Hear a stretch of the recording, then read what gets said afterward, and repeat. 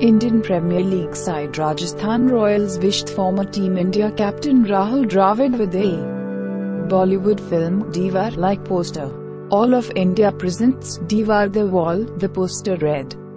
Adding, mere pass technique here 20 years of pure blockbuster performances. Happy birthday, legend Rajasthan Royals wrote alongside the poster. Dravid played for RR from 2011 to 2013. Subscribe to the channel for more news.